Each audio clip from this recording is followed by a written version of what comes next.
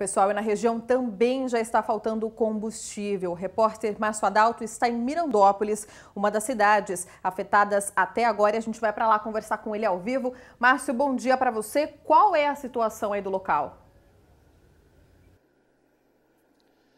Bom dia, Jéssica. Bom dia a todos. Na verdade, eu estou em um ponto aqui na rodovia Marechal Rondon que liga Mirandópolis e Guaraçaí. Aqui os caminhoneiros estão fazendo mais um ponto de bloqueio parcial na pista, nos dois sentidos da rodovia. Esse é o segundo ponto registrado aqui na nossa região com esse bloqueio. Um é aqui e outro em Araçatuba, mesmo na cidade, ah, também na rodovia Marechal Rondon.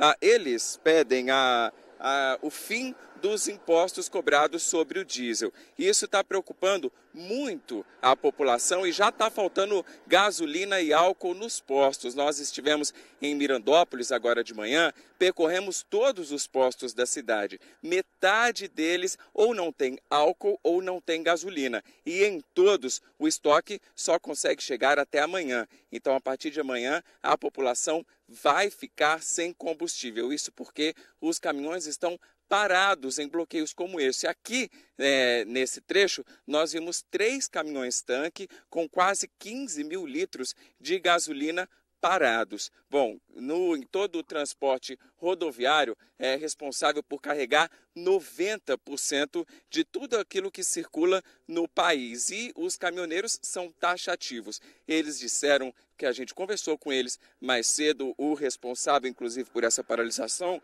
me disse que a, a gasolina e o diesel, assim como o álcool, também precisa ser revisto os valores pelo governo, os valores de impostos, e que a greve só será suspensa com o fim dos impostos PIS e COFINS sobre o diesel. Isso quer dizer, Jéssica, ou o governo cede ou nada feito.